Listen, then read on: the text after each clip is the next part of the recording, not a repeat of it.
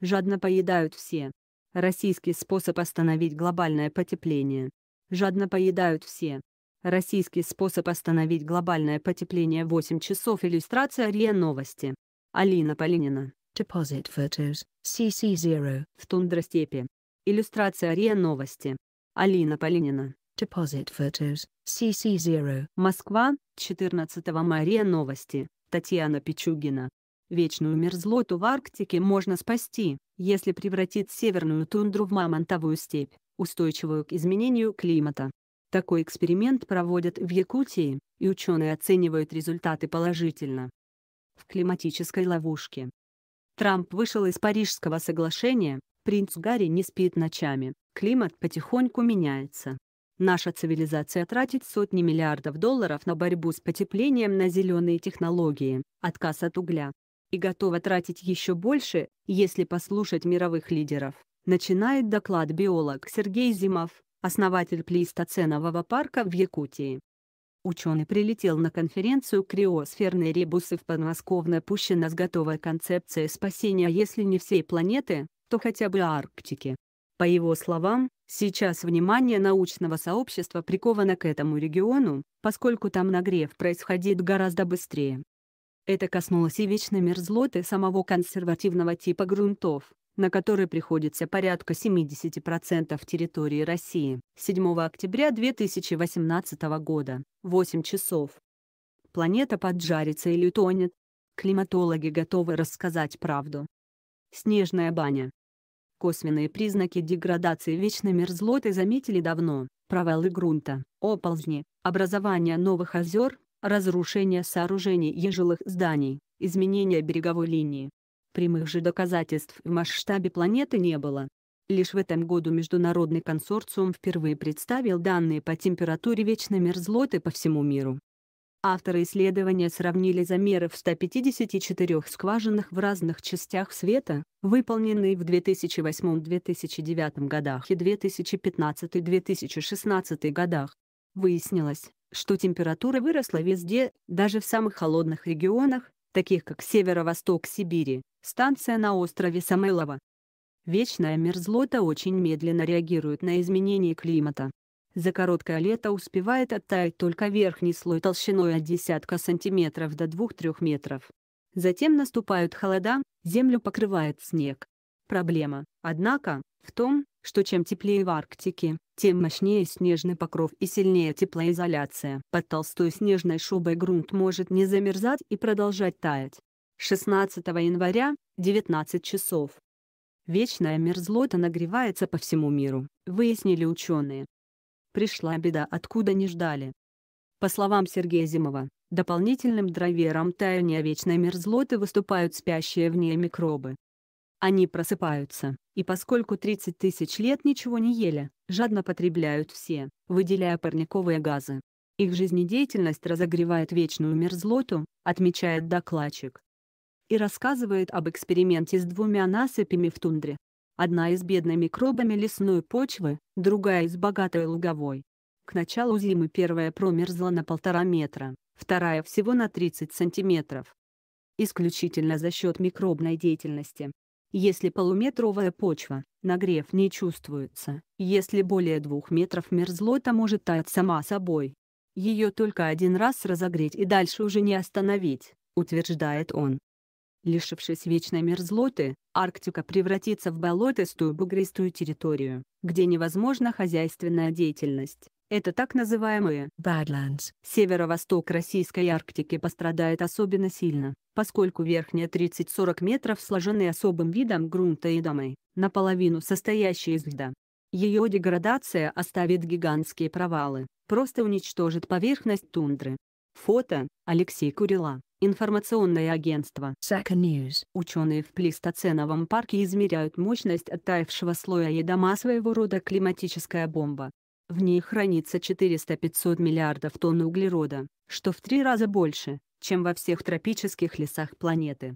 При содействии оттаивших микробов этот углерод окажется в атмосфере в виде CO2 или метана сильнейших парниковых газов. Самые большие запасы богатой органикой едомной почвы на северо-востоке Якутии. К счастью, это самый холодный район. Среднегодовая температура там минус 6-8, и мировая общественность была спокойна, мол, если начнет таять, то в конце века, пусть наши дети разбираются, продолжает Зимов. Однако факты говорят обратное. Температура воздуха поднялась на 3 градуса. По словам ученого, снежный покров в этих местах увеличился вдвое и его отепляющий эффект резко усилился, почвы нагрелись на 8 градусов. Для сравнения, в Подмосковье на 1 градус. Оттаивший летом активный слой почвы за зиму не успевает весь замерзнуть. Исследователь полагает, что концентрация CO2 в последние два года повышается за счет таяния вечной мерзлоты. Иллюстрация РИА Новости. Источник – доклад Сергея Зимова.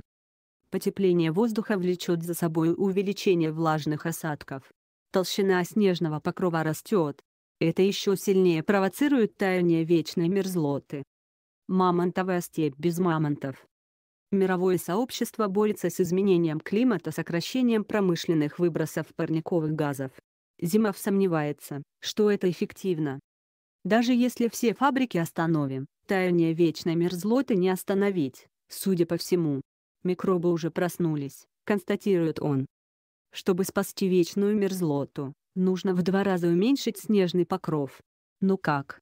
Ученый предлагает трансформировать северную тундру в мамонтовую степь.